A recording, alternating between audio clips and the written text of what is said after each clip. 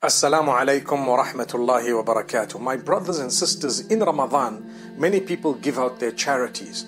The reason why they do it is because coinciding it with Ramadan, where the reward of good deeds is multiplied, would actually mean that they're getting a greater reward for the charity in Ramadan. So, Alhamdulillah, it's a good thing.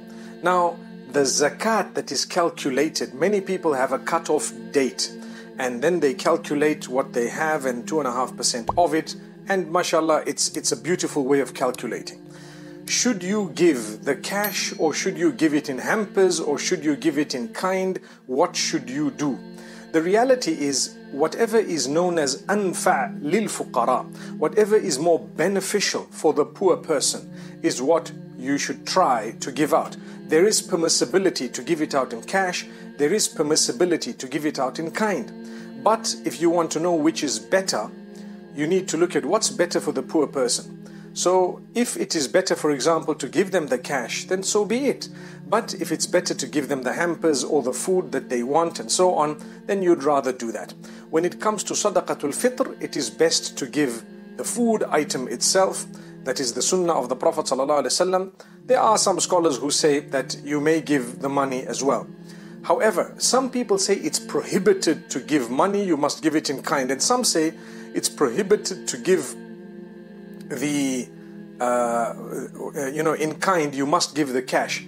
Both of those are actually not accurate. The reason is you've got to do whatever is beneficial for the poor person. Imagine 10 people giving someone zakat, they give them 10 big bags of rice. What will this poor person do with 10 big bags of rice? He's going to sell them. Perhaps he has other needs. He might need clothing, he might need medication, he might need something you don't know about, he might have to pay a bill, he might have something outstanding. So that's the reason why we say you've got to look into whatever is beneficial for the poor person. Thereafter, you need to know that sometimes if there is a need outside of Ramadan, you can give. You can give in advance and you can then deduct it from what you have given in Ramadan or your zakat amount. You are allowed to give in advance and then you say, Look, this is part of my zakat because there is a need. There is an urgent, desperate need right now.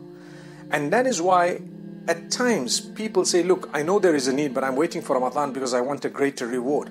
When there is a desperate need, Allah will reward you even greater than you can imagine because to assist someone in desperate need is so rewarding beyond your imagination. Allah will assist you at the time of your need in this world and in the hereafter. So I thought I'd mention one or two of these points in order to encourage the giving.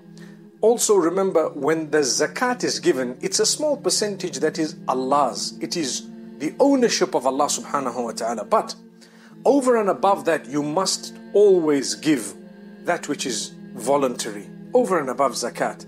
You give money from your own, people call it lillah, you know, for the sake of Allah. I'm giving. You may give anyone and everyone because zakat, you're only allowed to give certain categories.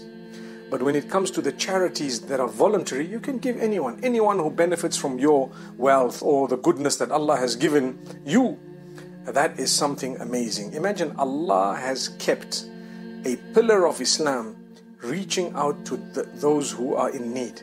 Imagine the benefit there must be in this. There is actually, but I mean, for those who want to look at it that way, if there was no benefit in it, there would never have been a pillar of Islam giving, giving those who don't have. So imagine if you were voluntarily helping those who don't have, whatever it is they don't have, think of how good your connection with Allah will become. He wants you to care for people, so He's made a pillar of Islam caring for others. May Allah Almighty grant us goodness and open our doors and may Allah Almighty grant us the best of this world and the next. أقول قولي هذا وصلى الله وسلم على نبينا محمد